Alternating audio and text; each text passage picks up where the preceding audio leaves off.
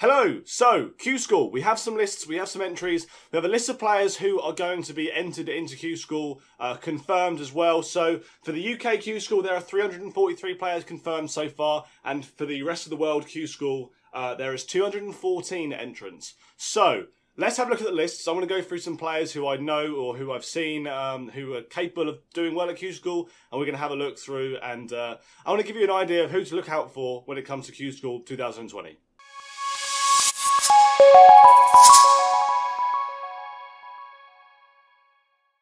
So if you go onto the Darts Connect website, you'll be able to find this list yourself. But if you look at the screen, I'm going to go through some of the players and stuff. So if you see here, I've got a list of all of the entries uh, for the UK Q School and also a list of all of the entries for the uh, for the rest of the world Q School. So we start off with the UK Q School. I picked out a few players who I think could do could do some stuff, and uh, yeah, let's have a look at them. Okay, so starting at the top, Seigo Asada. I think he's a good pick for Q School. Done well in the World Championships. Always does well, really. Asada. I think he's a good player. Probably quite capable of getting getting a tour card. So Seigo Asada is definitely going to be in my list. Um, Keane Barry, another good player, did well at the Worlds, didn't win a set, but he actually played quite well. He just recently today uh, won the World Youth as well in the BDO, beating uh, Leighton Bennett 3 0. So, good one to pick. Uh, Bradley Brooks, um, I've marked him plenty of times. He's a good player. Kevin Burness again, um, played in the World Championships this year. Another good player. I've marked him plenty of times. Jamie Caven coming back um, to Q School. If he has a good year, he's one of the best players there is when he's when he's on form. Um, so hopefully, if he can get his form back, Q School will be a doddle for him. Uh, be, I'm looking forward to seeing how he gets on. Actually, I really like Jamie Caven. Uh, Dan, Daniel Day uh, from Essex. He played in the, in uh, a few of the big tournaments this year in the BDO. Done some bits. Good player. Um, Gary Eastwood. I've never marked for Gary, but I've seen him on the tour quite a few times. So he's he's a good player. Good one to watch, watch out for. Um, Richie Edhouse is another one who played in the World Championships this year. Lost out to James Wade, but won his first game, played quite well, and uh, yeah, it'll be interesting to see how he gets on. Lee Evans. Now, I don't mean Lee Evans the comedian. I mean Lee Evans the dart player. I don't know what happened to Lee Evans. When when I was a referee, I used to always, I used to always watch Lee Evans's games and think, how are you not ranked higher?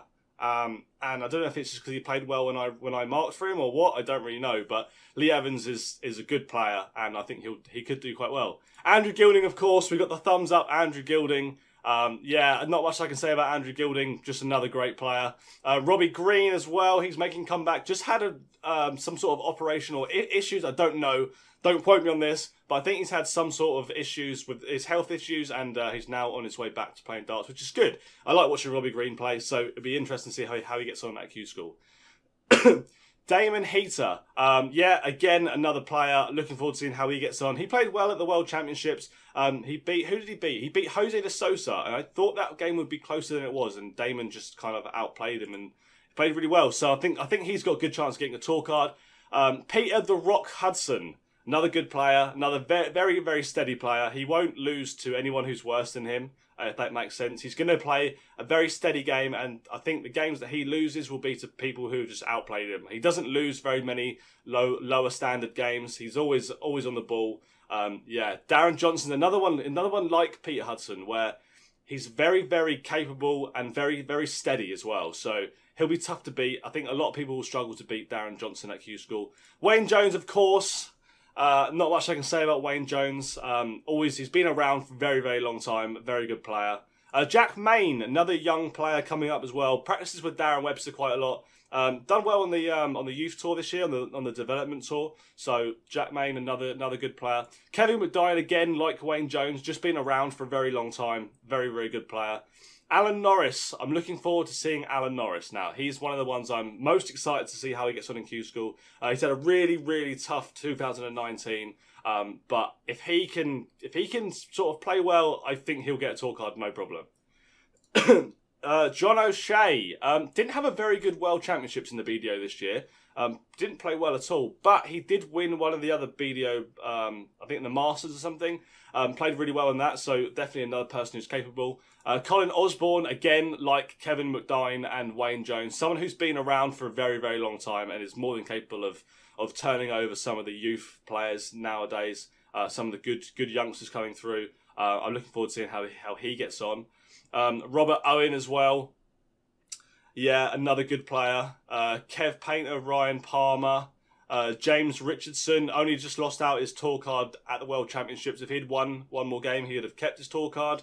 Uh, Jamie Robinson, someone who people don't speak about of very often, but I rate Jamie Robinson really highly, so be interesting to see how he gets on. And we've got a couple of the women here, Fallon Sherrock, of course, and uh, uh, Mikuru Suzuki. They're going to be very, very interesting. Uh, Fallon obviously had like the tournament of the lifetime recently. Um, PDC has been all Fallon Sherrock for the last couple of weeks.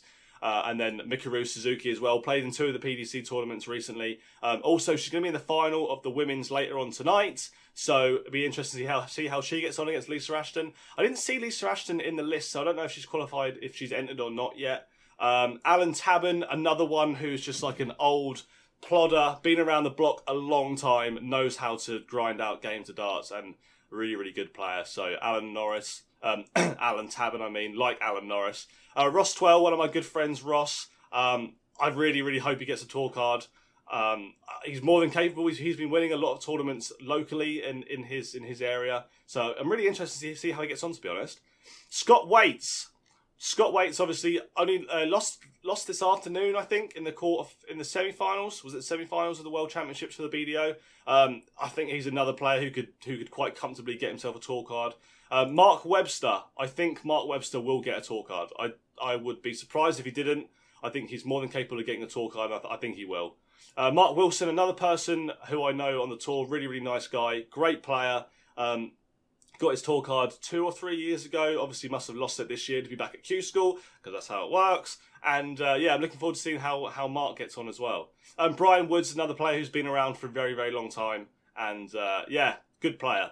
And then Yuki Yamada lost to Darren Webster in the World Championships this year, but he beat Ryan Meikle in the first round. So he's more than more than capable player, and I'm I'm looking forward to seeing how he gets on. But on to the next list of players. Uh, this is the rest of the world Q School. Um, and let's have a look at my picks. So Nico Blum, um, seen his name a lot on the youth and stuff. Good player.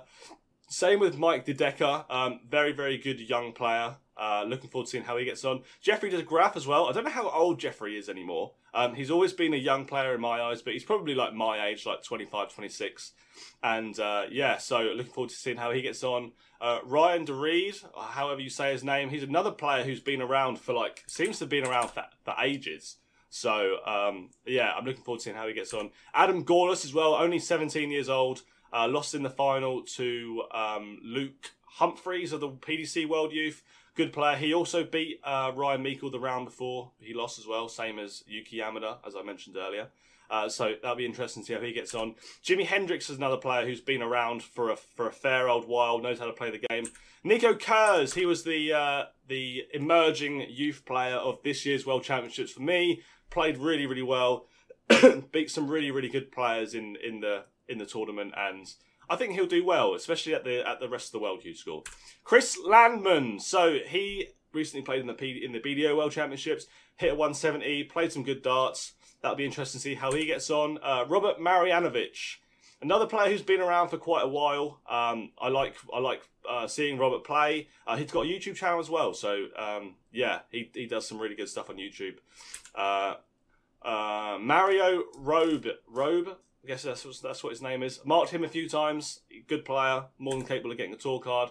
Owen Roloff. So he was one of the young, like 15, 16 year olds when he first come up, who was really, really good. Uh, I did hadn't seen his name for a couple of years, and then like the last few years, um, he has been on like the, the youth tour and stuff, the development tour and the PDC, and he, he, he's holding his own, so he's he's capable of getting a tour card. Uh, Michael Unterbuchner, I think I said his name right. Another person who's been in the in the BDO World Championships this year, who's been around the block quite a few times on the BDO circuits, won a few tournaments here and there. Good player, more than capable of getting a tour card.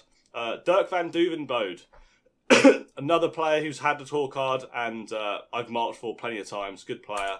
Uh, and Justin Van Go. So he must be like 17 years old now, I reckon.